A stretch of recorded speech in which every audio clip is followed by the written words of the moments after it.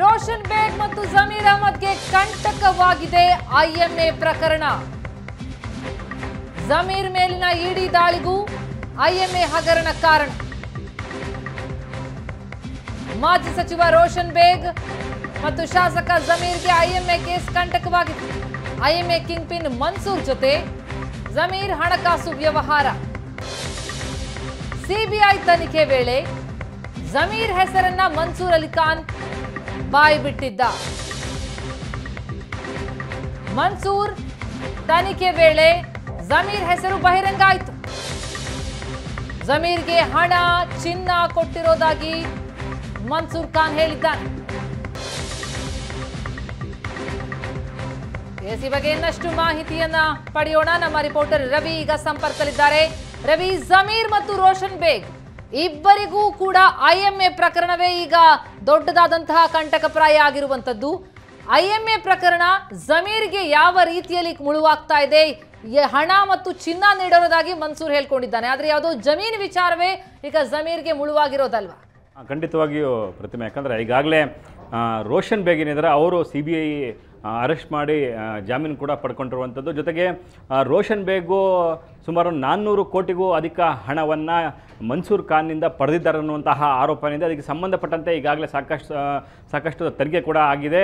ರೋಷನ್ ಬೇಗ್ ಅವರ ಪಾತ್ರ ಕೂಡ ಈಗಾಗಲೇ ಸಾಬೀತಾಗಿರುವಂಥದ್ದು. ಸೊ ಈ ಹಿನ್ನೆಲೆಯಲ್ಲಿ ಅವರ ಸಂಪೂರ್ಣ ಆಸ್ತಿಯನ್ನು ಜಪ್ತಿ ಮಾಡಿ ಜಪ್ತಿ ಮಾಡಿ ಯಾರು ಈ ಒಂದು ಐ ಎಂ ಎ ಸಂಸ್ಥೆಯಲ್ಲಿ ಇನ್ವೆಸ್ಟ್ ಮಾಡಿರ್ತಾರೆ ಕಳ್ಕೊಂಡಿರ್ತಾರೆ ಅವರೆಲ್ಲರಿಗೂ ಕೂಡ ಹಣವನ್ನು ಡಿಸ್ಟ್ರಿಬ್ಯೂಟ್ ಮಾಡೋದಕ್ಕೆ ಈಗಾಗಲೇ ಸಂಬಂಧಪಟ್ಟಂತಹ ಅಧಿಕಾರಿಗಳು ಮುಂದೆ, ಮುಂದಾಗಿರುವಂಥದ್ದು. ಸೊ ಅದಕ್ಕೆ ಸಂಬಂಧಪಟ್ಟಂತಹ ಸಾಕಷ್ಟು ಪ್ರೋಸೆಸ್ ಕೂಡ ರೋಷನ್ ಬೇಗ್ ಅವರ ವಿಚಾರದಲ್ಲಿ ಈಗಾಗಲೇ ಕಂಪ್ಲೀಟ್ ಆಗಿ ನಡೀತಾ ಇರುವಂಥದ್ದು ಅದೇ ಹಾದಿಯಲ್ಲಿ ಈಗ ಐ ಎಂ ಎ ಹಗರಣದಲ್ಲಿ ಭಾಗಿಯಾಗಿರುವಂತಹ ಮತ್ತೊಬ್ಬ ಮಾಜಿ ಸಚಿವರಾದಂತಹ ಜಮೀರ್ ಅಹಮದ್ ಅವ್ರಿಗೂ ಕೂಡ ಈಗ, ಆ, ಬಿಸಿ ತರ್ತಾ ಇದೆ. ಯಾಕಂದರೆ ಈಗಾಗಲೇ ಎಫ್ ಐ ಅಲ್ಲೂ ಕೂಡ ಅವರ ಹೆಸರು ಇದೆ ಅಂತೇಳಿ ಎಫ್ ಐ ಅಲ್ಲಿ ಅವರ ಹೆಸರು ಇರುವಂತಹ ಹಿನ್ನೆಲೆಯಲ್ಲಿ ಅವರು, ಅವರ, ಅವರನ್ನು ಕರೆದು ಒಂದೆರಡು ಬಾರಿ ವಿಚಾರಣೆ ಕೂಡ ಮಾಡಲಾಗಿರುವಂಥದ್ದು. ಜೊತೆಗೆ ಐ ಎಂ ಎ ವಂಚಕ ಏನಿದ್ದಾರೆ, ಮನ್ಸೂರ್ ಅಲಿ ಖಾನ್ ಆತ ನೇರವಾಗಿ ಸಿ ಬಿ ಐ ಮತ್ತು ಇಡಿ ಅಧಿಕಾರಿಗಳ ಮುಂದೆ ಒಂದು ಹೇಳಿಕೆಯನ್ನು ಕೂಡ ಕೊಟ್ಟಿರುವಂಥದ್ದು. ಅದು ಏನಂದರೆ, ಕೆಲವು ಪ್ರಭಾವಿ ರಾಜಕಾರಣಿಗಳು ಆ ಪೈಕಿ ಜಮೀರ್ ಅಹಮದ್ ಮತ್ತು ರೋಷನ್ ಬೇಗ್ ಇವರಿಬ್ಬರಿಗೂ ಕೂಡ ಐ ಎಂ ಎ ಸಂಸ್ಥೆಯಿಂದ ಸಾಕಷ್ಟು ಹಣವನ್ನು ಕೊಟ್ಟಿದ್ದೀನಿ. ಜೊತೆಗೆ ಒಂದಷ್ಟು ಬಂಗಾರವನ್ನು ಕೂಡ ಕೊಟ್ಟಿದ್ದೀನಿ. ಮತ್ತು ಒಂದಷ್ಟು ಶೇರ್ಗಳನ್ನು ಕೂಡ ನಾನು ಟ್ರಾನ್ಸ್ಫರ್ ಮಾಡಿದ್ದೀನಿ ಅನ್ನುವಂತಹ ಒಂದು ಸ್ಪಷ್ಟವಾದಂತಹ ಲಿಖಿತವಾದಂತಹ ಹೇಳಿಕೆಯನ್ನು ಸಿ ಬಿ ಐ ಮತ್ತು ಇ ಡಿ ಅಧಿಕಾರಿಗಳ ಮುಂದೆ ಮನ್ಸೂರ್ ಅಲಿ ಖಾನ್ ಎರಡು ಸಾವಿರದ ಹತ್ತೊಂಬತ್ತರಲ್ಲೇ ಕೊಟ್ಟಿದ್ದ. ಸೊ ಈ ಹಿನ್ನೆಲೆಯಲ್ಲಿ ಅಂದಿನಿಂದ ಇಂದಿನವರೆಗೂ ಕೂಡ ಸಿ ಬಿ ಐ ಅಧಿಕಾರಿಗಳು ಸಾಕಷ್ಟು ತನಿಖೆಯನ್ನು ಮಾಡಿ ಹಂತ ಹಂತವಾಗಿ, ಸಿ ಬಿ ಐ ನ್ಯಾಯಾಲಯಕ್ಕೆ ಚಾರ್ಜ್ ಶೀಟ್ ಕೂಡ ಸಲ್ಲಿಕೆ ಮಾಡಿದ್ರು. ಅಡಿಷನಲ್ ಚಾರ್ಜ್ ಶೀಟ್ ಸಂದರ್ಭದಲ್ಲಿ ಜಮೀರ್ ಅಹಮದ್ ಅವರ ಪಾತ್ರ ಕೂಡ ಈಗಾಗಲೇ ನ್ಯಾಯಾಲಯದ ಗಮನಕ್ಕೆ ತಂದಿದ್ದಾರೆ.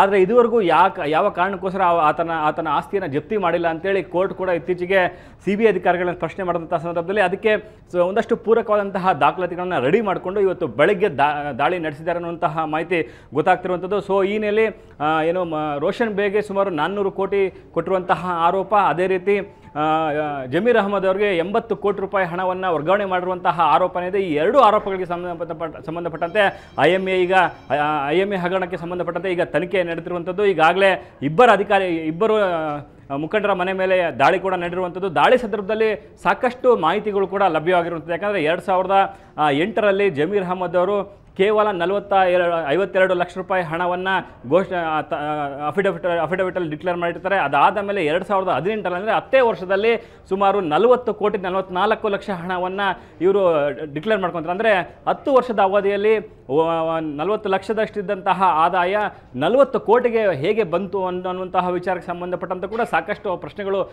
ಉಂಟಾಗಿರುವಂಥ ಜೊತೆಗೆ ಎರಡು ಸಾವಿರದ ಹದಿನೆಂಟು, ಹತ್ತೊಂಬತ್ತು ಮತ್ತು ಎರಡು ಸಾವಿರದ ಹತ್ತೊಂಬತ್ತು ಇಪ್ಪತ್ತರ ಅವಧಿಯಲ್ಲೂ ಕೂಡ ತೆರಿಗೆ ವಂಚನೆಯಲ್ಲಿ ಕೂಡ ಸಾಕಷ್ಟು ವಂಚನೆ ಆಗಿದೆ ಅನ್ನುವಂತಹ ಮಾಹಿತಿ ಕೂಡ ಇಡಿ ಅಧಿಕಾರಿಗಳು ಇವತ್ತು ಇವತ್ತಿನ ದಾಳಿ ಸಂದರ್ಭದಲ್ಲಿ ಹೊರಗಡೆ ಬಂದಿರುವಂಥ ವಿಚಾರ. ಸೊ ಈಗ ಈಗಾಗಿ ಈಗಾಗಲೇ ಏನು ಐ ಎಂ ಎ ಹಗರಣದಲ್ಲಿ ಇವರಿಬ್ಬರಿಗೂ ಕೂಡ ಸಾಕಷ್ಟು ಬಿಸಿ ಮುಟ್ತಾ ಇದೆ. ಈಗ ರೋಷನ್ ಬೇಗ್ ಅವರು ಬಂಧನ ಆಗಿ ಈಗಾಗಲೇ ಜಾಮೀನು ಕೂಡ ಪಡ್ಕೊಂಡು ಹೊರಗಡೆ ಬಂದಿದ್ದಾರೆ.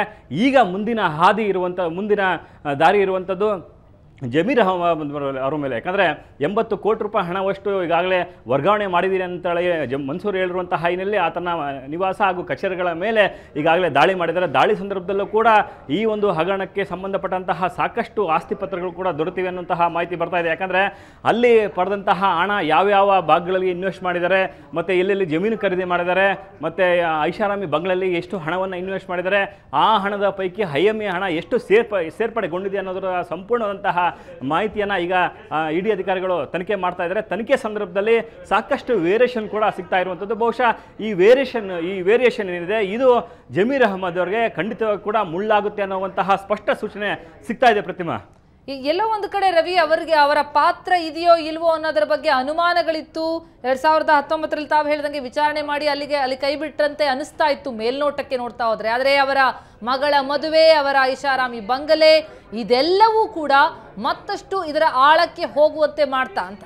ಹಾಂ ಖಂಡಿತವಾಗ ಯಾಕಂದರೆ ಐ ಎಂ ಎಗ ಐ ಎಂ ಎ ಪ್ರಕರಣದಲ್ಲಿ ಈಗಾಗಲೇ ಚಾರ್ಜ್ ಶೀಟು ಮತ್ತು ಅಡಿಷನಲ್ ಚಾರ್ಜ್ ಶೀಟು ಕೂಡ ಸಿ ಬಿ ಐ ಅಧಿಕಾರಿಗಳು ನ್ಯಾಯಾಲಯಕ್ಕೆ ಸಲ್ಲಿಸಿದ್ದಾರೆ. ಆ ಸಲ್ಲಿಕೆಯ ಸಂದರ್ಭದಲ್ಲಿ ಒಂದಷ್ಟು ಅಧಿಕಾರಿಗಳ ಮನೆ ಮೇಲೆ ದಾಳಿ ಮಾಡಿರುವಂಥದ್ದು, ಆಸ್ತಿಗಳನ್ನು ಜಪ್ತಿ ಮಾಡಿರುವಂಥದ್ದು, ಅದೇ ರೀತಿ ರೋಷನ್ ಬೇಗ್ ಅವರ ನಿವಾಸಕ್ಕೆ ದಾಳಿ ಮಾಡಿ ಆಸ್ತಿಗಳನ್ನು ಜಪ್ತಿ ಮಾಡಿರುವಂತಹ ವಿಚಾರವನ್ನು ಸಂಪೂರ್ಣವಾಗಿ ನ್ಯಾಯಾಲಯದ ಗಮನಕ್ಕೆ ತಂದಿದ್ದರು ಆದರೆ ಜಮೀರ್ ಅಹಮದ್ ಅವರ ಮ, ನಿವಾಸ ಹಾಗೂ ಅವರ ಕಚೇರಿಗಳ ಮೇಲೆ ದಾಳಿ ದಾಳಿ ಮಾಡಿಲ್ಲ ಅಥವಾ ಅವರ ಆಸ್ತಿಗೆ, ಆಸ್ತಿಯನ್ನು ಜಪ್ತಿ ಮಾಡುವಂತಹ ಪ್ರೋಸೆಸ್ಗೆ ಸಿ ಬಿ ಐ ಅಧಿಕಾರಿಗಳು ಯಾಕೆ ಮುಂದಾಗಿಲ್ಲವಂತ ಅನ್ನುವಂತಹ ಪ್ರಶ್ನೆಯನ್ನು ಇತ್ತೀಚೆಗೆ ಸಿ ಬಿ ಐ ನ್ಯಾಯಾಲಯ ಸಿ ಬಿ ಐ ಅಧಿಕಾರಿಗಳನ್ನು ಪ್ರಶ್ನೆ ಮಾಡಿತ್ತು. ಸೊ ಈ ಹಿನ್ನೆಲೆಯಲ್ಲಿ ಆ ಪ್ರೋಸೆಸ್ಸನ್ನು ಕಂಪ್ಲೀಟ್ ಮಾಡುವಂತಹ ಹಂತವಾಗಿ ಇವತ್ತು ದಾಳಿ ನಡೆದಿರುವಂಥದ್ದು. ಯಾಕಂದರೆ ಸಹಜವಾಗಿ ಪೊಲೀಸರು ಕರ್ನಾಟಕದ ಪೊಲೀಸರು ಏನು ಮಾಡ್ತಾರೆ ಅಂದರೆ ಚಾರ್ಜ್ ಶೀಟ್ ಆದಮೇಲೆ ಯಾರನ್ನೂ ಕೂಡ ದಾಳಿ ಮಾಡಲ್ಲ, ಪರಿಶೀಲನೆ ಮಾಡಲ್ಲ. ಚಾರ್ಜ್ ಶೀಟ್ ಅವಧಿಯಲ್ಲಿ ಅಂದರೆ ಎಫ್ ಐ ಆರ್ ಆದ ಬಳಿಕ ಅವ್ರನ್ನ ದಾಳಿ ಮಾಡ ಮನೆ, ಅವರ ಸಂಬಂಧಪಟ್ಟಂತಹ ಆಸ್ತಿಗಳ ಮೇಲೆ ದಾಳಿ ಮಾಡ್ತಾರೆ, ಅವ್ರ ಸ್ಟೇಟ್ಮೆಂಟ್ಗಳಂತ ಅಂತಾರೆ. ಸಿ ಬಿ ಐ ಮತ್ತು ಎನ್ ಐ ಎ ತನಿಖೆಯಲ್ಲಿ ಸಾಕಷ್ಟು ತುಂಬ ಗಂಭೀರವಾದಂತಹ ತನಿಖೆಯನ್ನು ಮಾಡ್ತಾರೆ. ಯಾಕಂದರೆ ಸಾಕಷ್ಟು ಪ್ರಾಮುಖ್ಯತೆವಾದಂತಹ ತನಿಖೆಗೆ ಅವರು ಒತ್ತನ್ನು ಕೊಡ್ತಾರೆ. ಸೊ ಹೀಗಾಗಿ ಚಾರ್ಜ್ ಶೀಟ್ ಮತ್ತು ಅಡಿಷನಲ್ ಚಾರ್ಜ್ ಶೀಟ್ ಆದ ಬಳಿಕವೂ ಕೂಡ ನ್ಯಾಯಾಲಯದ ಗಮನಕ್ಕೆ ಈ ಪ್ರಕರಣದಲ್ಲಿ ಏನೇನು ನಡೀತಾ ಇದೆ, ಯಾವ ರೀತಿ ಸಾಗ್ತಾ ಇದೆ, ಯಾವ ರೀತಿ ತನಿಖೆ ಮಾಡ್ತಾ ಇದ್ರೆ ಅನ್ನುವಂತಹ ಸಂಪೂರ್ಣವಂತಹ ಮಾಹಿತಿಯನ್ನು ನ್ಯಾಯಾಲಯಕ್ಕೆ ಕೊಡಬೇಕಾಗಿರುತ್ತೆ. ಯಾಕಂದರೆ ಇದರಲ್ಲಿ ನಾಲ್ಕು ಸಾವಿರ ಗ್ರಾಹಕರು ಹಣವನ್ನು ಕಳ್ಕೊಂಡಿರ್ತಾರೆ. ಈಗಾಗಲೇ ಇದಕ್ಕೆ ಸಂಬಂಧಪಟ್ಟಂತೆ ಸಾಕಷ್ಟು ಎಫ್ ಐ ಆರ್ಗಳು ಕೂಡ ದಾಖಲಾಗಿರ್ತವೆ. ಸಿ ಬಿ ಐಗೆ ಈ ಒಂದು ಪ್ರಕರಣ ಹೋಗಿರುವಂತಹ ಹಿನ್ನೆಲೆಯಲ್ಲಿ ನ್ಯಾಯಾಲಯ ಪ್ರತಿಯೊಂದನ್ನು ಕೂಡ ಪ್ರಶ್ನೆ ಮಾಡುತ್ತೆ. ಸೊ ಈ ಹಿನ್ನೆಲೆಯಲ್ಲಿ ಇವತ್ತೊಂದು ಅಫಿಷಿಯಲ್ ಇಡಿ ರೈಡ್ ಕೂಡ ಆಗಿರುವಂಥದ್ದು. ಬಹುಶಃ ಇಡಿ ಅಧಿಕಾರಿಗಳು ಈಗಾಗಲೇ ಮನ್ಸೂರ್ ಖಾನ್ ಅಲಿ ಖಾನ್ ಕೊಟ್ಟಂತಹ ಹಣ ಯಾವುದಕ್ಕೆ ಇನ್ವೆಸ್ಟ್ ಆಗಿದೆ ಅನ್ನುವಂತಹ ಸಂಬಂಧಪಟ್ಟಂತಹ ಸಾಕಷ್ಟು ಮಾಹಿತಿಯನ್ನು ಕಲೆ ಹಾಕ್ತಿದ್ದಾರೆ. ಬಹುಶಃ ರೋಷನ್ ಬೇಗೆ ಆ, ಬ- ಬಂದಂತಹ ಪರಿಸ್ಥಿತಿ ಜಮೀರ್ ಅಹಮದ್ ಖಾನ್ ಅವ್ರಿಗೂ ಕೂಡ ಬರುತ್ತೆ ಅನ್ನುವಂತಹ ಸೂಚನೆ ಇವತ್ತಿನ ಇಡಿ ದಾಳಿಯಲ್ಲಿ ಸ್ಪಷ್ಟವಾಗಿ ಸಿಗ್ತಾ ಇದೆ. Prathima. Thank you thank you Ravi ತಮ್ಮೆಲ್ಲ ಮಾಹಿತಿಗೆ. ದೃಶ್ಯಗಳಲ್ಲಿ ನೋಡ್ತಾ ಇದ್ದೀರಿ. ಜಮೀರ್ ನಿವಾಸದಲ್ಲಿ ಸಾಕಷ್ಟು ಮೂಮೆಂಟ್ಸ್ ಕಂಡು ಬರ್ತಾ ಇದೆ. ಬೆಳಗಿನಿಂದಲೂ ಕೂಡ ಪರಿಶೀಲನೆ ನಡೆಸ್ತಾ ಇದ್ದಾರೆ. ಜಮೀರನ್ನ ವಿಚಾರಣೆಗೆ ಒಳಪಡಿಸಿದ್ದಾರೆ. ರೋಷನ್ ಬೇಗ್ ನಿವಾಸದಲ್ಲೂ ಅಷ್ಟೇ.